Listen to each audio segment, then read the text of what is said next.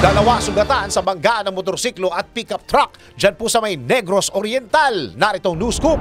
Nasangkot sa vehicular accident ang isang pick-up at motorsiklo sa Negros Oriental. Sa kuha ng dashcam, binabaybay ng puting pick-up ang kalsadang ito. Nang bigla na lang lumihis ang sasakyan at tinumbok nito ang buhangin nakatambak sa gilid ng kalsada. Hindi rin nakaligtas ang isang tindahan. Kasabay nito nadamay din ang isang rider na natamaan ng debris mula sa nasirang tindahan. Ayon sa otoridad, inatake ng hypertension ang driver ng puting sasakyan at nawala ng malay habang nagmamaneho. Hindi na nagsampa ng kaso ang mga biktima matapos magkasundo ang dalawang panig.